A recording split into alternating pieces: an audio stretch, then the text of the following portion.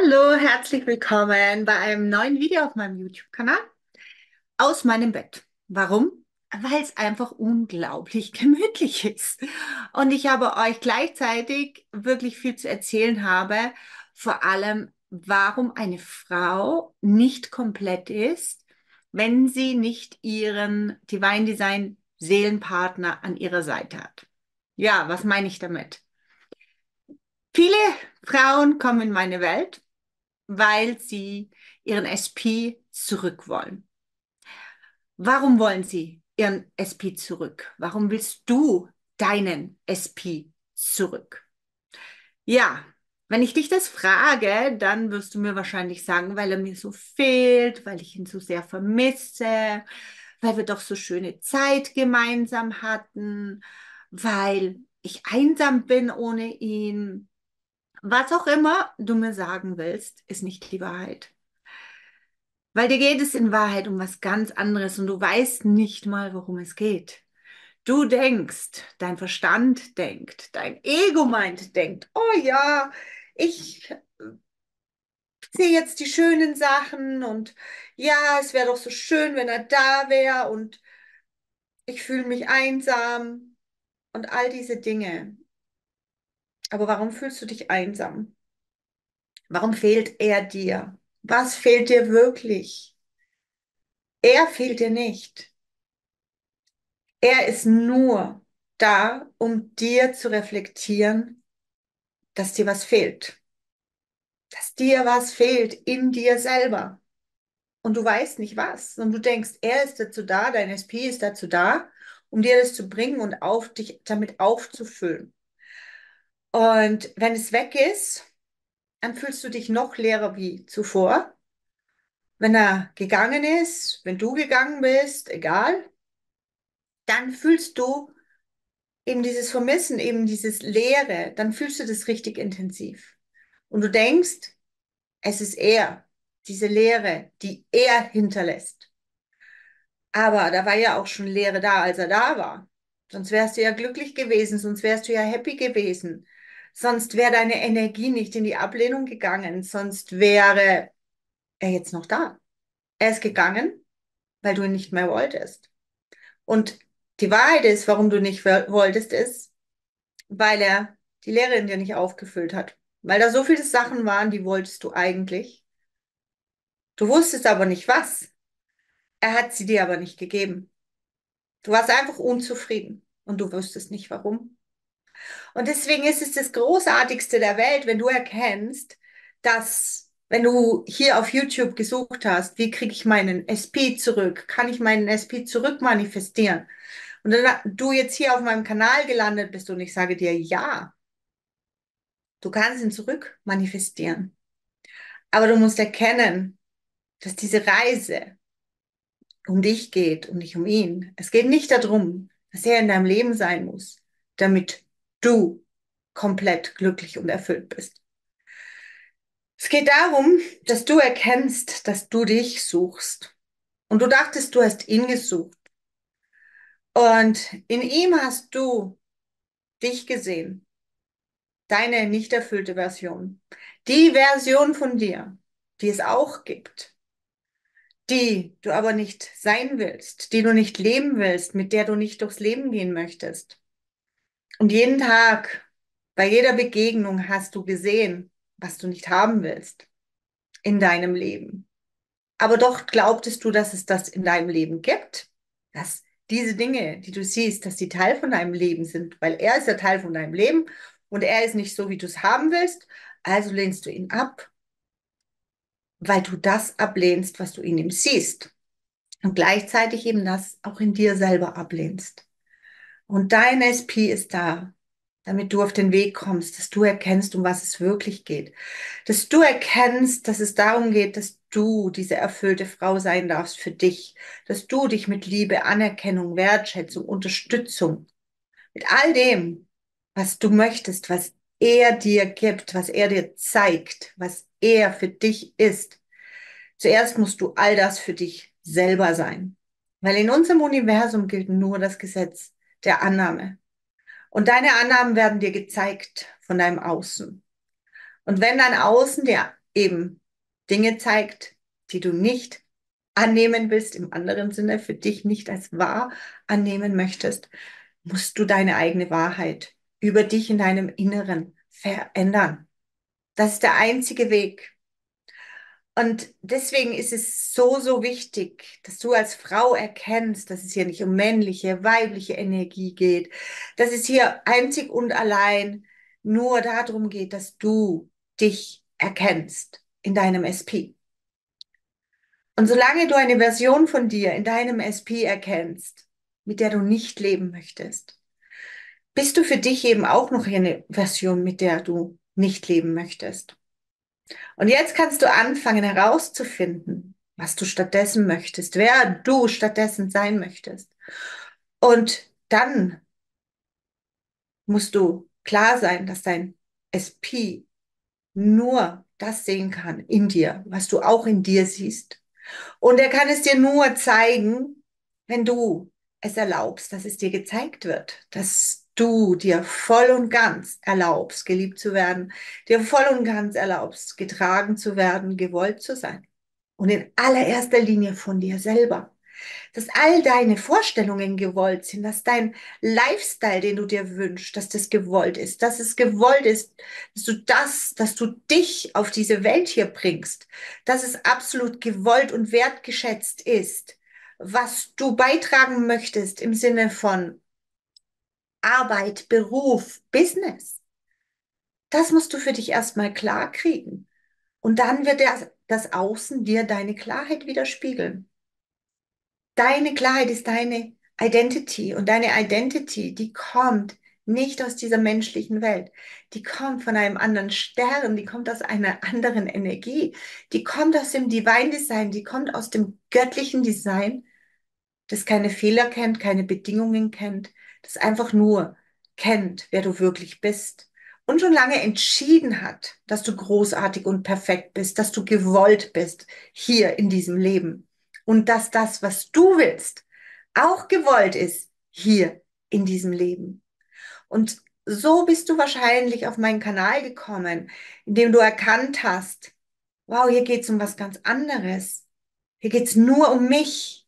Hier geht es darum, um mich zu finden als die, die ich wirklich bin und mich dann zu leben und zu erleben. Und vor allem, wenn du Coach bist, Berater bist, Beraterin natürlich, Coachin, wie auch immer, wenn du hier eben ein Beitrag sein möchtest für die Transformation von Menschen, für die Transformation von der Welt, geht es darum, dass du dich erstmal in deiner transformierten Version Identity erkennst, dass du eben erkennst, dass du hier bist, um das zu tun, was du möchtest, aber aus der Fülle und der Füllung heraus und nicht, weil du eine Methode, weil du einen Ansatz, eine Art und Weise gelernt hast, sondern weil du weißt, wie dieses Universum funktioniert und weil du weißt, wer du darin bist. Und dann wird deine Arbeit als Coach, Mentorin, Beraterin, Heilerin magisch, weil du es einfach bist, weil du die Energie bist, der Raum bist, der alles kreiert und generiert für sich und für andere. Und bis du das nicht bedingungslos 100 Prozent absolut für dich anerkannt hast, wird dir immer noch irgendwas fehlen.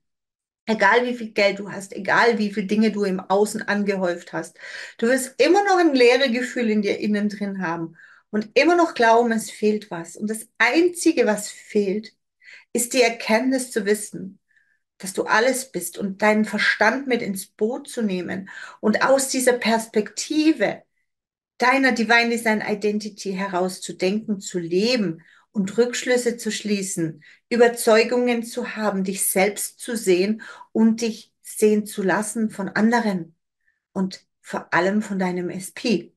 Weil du bist die eine.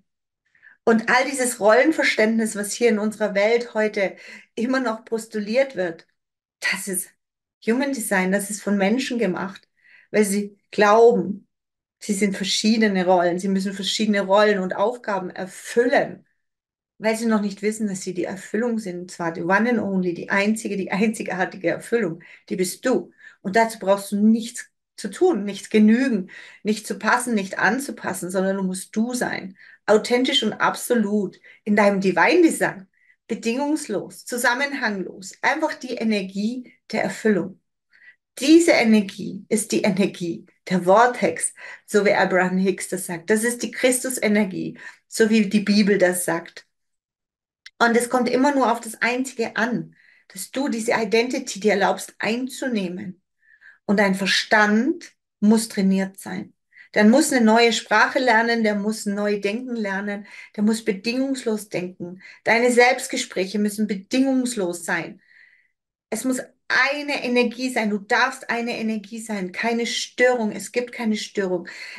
Deswegen heißt es auch immer nicht reagieren aufs Außen, weil das stört deine innere Energie und dann wiederum zeigt sie sich im Außen. Wenn du also etwas ändern willst und etwas transformieren möchtest, musst du komplett aussteigen aus dem, was du bisher warst, aus dem, was du bisher generiert hast, aus dem, was du bisher geglaubt hast, aus all diesen Ansichten und Rückschlüssen. Und das ist eine andere Welt. Das ist eine andere Welt. Und das suchst du als Frau. Und das findest du nicht in deinem SP. Aber wenn du es in dir selber gefunden hast, dann wird dein SP das mit dir teilen und dir zurückspiegeln. Du sein. Er ist du. Er ist immer du. Er ist schon immer du gewesen. Und es wird nie was anderes sein. Und aus diesem Grund ist es auch völlig egal, welchen SP du wählst. Du kannst wählen, welchen SP du möchtest. Du wirst dieses Gesetz nicht brechen können. Aber du wirst anerkennen können, dass es dir darum gegangen ist, immer schon. Und dass du ihn als Erlaubnisgeber oder eben als Verhinderungsgrund genutzt hast, um nicht gut genug zu sein, um nicht in deine Divine Design Perfektion einzusteigen, um irgendetwas herzunehmen, das dir noch erzählt, dass irgendetwas noch fehlt und deine Erfüllung jetzt noch nicht gegeben ist. Und wenn du das alles verstanden und umgesetzt hast, dann ist dein SP da. Dann ist er zu deiner Seite. Dann ist er da in deiner höchsten Version. Dann checkt er ein bei dir, dort, wo du es haben willst. Und bevor du halt selber noch nicht dort bist, wird dein, Check, äh, wird dein SP immer nur da einchecken, wo du bist. Und dann wird es dir wieder nicht genügen. Dann wird es wieder nicht gut genug sein. Dann wird immer noch was fehlen. Dann ist es immer noch eine Reise. Dann ist es noch ein Wachstum. Dann ist es ein Prozess. Dann ist es eben noch nicht angekommen. Aber in unserem energetischen, energetischen Universum gibt es keine Prozesse. Da gibt es nur dich. Du bist alles und du wirst reflektiert da draußen. Durch alles und durch alle.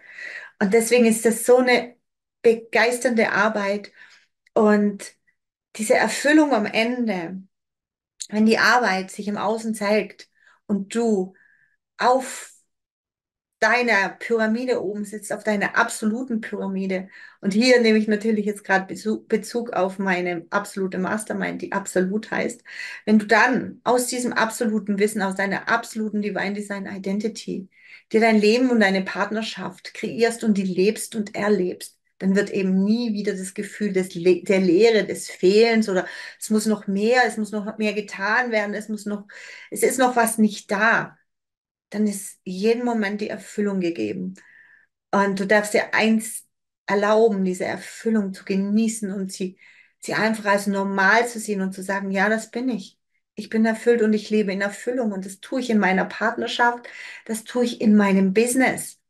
Und da fehlt nichts mehr sondern es gibt nur noch ganz viele Abenteuer aus der Erfüllung raus. Es gibt die schönsten Dinge aus meinem Business heraus, die schönsten Be Begegnungen, die schönsten Wunder, die allerschönste Magie.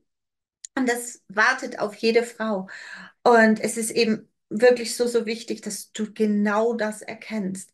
Und das ist vielleicht das einzige Video, das du als Frau lernen musst, verstehen musst und zu dir zu finden und zu wissen, was bei dir zu finden ist und wie es zu finden ist. Ja, komm, komm gerne in meine Community. Da arbeiten wir daran, alle gemeinsam. Wenn du sagst, ich bin schon da, ich bin schon on, ich habe alles, dann äh, komm, melde dich bei mir. Vielleicht bist du ja auch schon absolut und bist bereit, all, all, all, all in zu gehen für das Maximum, für die Grenzenlosigkeit. Oder vielleicht darfst du noch mit in Rising Up kommen, wo du noch weiter dieses Human Design ablegst und eben Richtung Absolut gehst. Auf jeden Fall herzlich, herzlich willkommen auf meinem Kanal. Bitte teile diese Videos. Es ist so, so, so wichtig. Und du kannst natürlich auch was gewinnen, wenn wir bei 4000 Abonnenten sind. Dann verlose ich wieder eine ganz, ganz große Sache. Und wenn wir bei 3000 Abonnenten sind, verlose ich eine kleine Sache. Deswegen schau unbedingt hier in der Beschreibungsbox unten drin, Description Box below und dann findest du auch einen Link zu meiner E-Mail-Liste, setze ich auf jeden Fall da drauf, weil dann nimmst du automatisch bei jeder Verlosung teil und kriegst auch natürlich alle Neuigkeiten, alle Angebote, alle Masterclasses wirst du eingeladen, informiert, die dich in deiner Divine Design Reise unterstützen. In diesem Sinne, ich freue mich auf dich. Ich freue mich, dass du da bist. Und wir sehen uns im nächsten Video.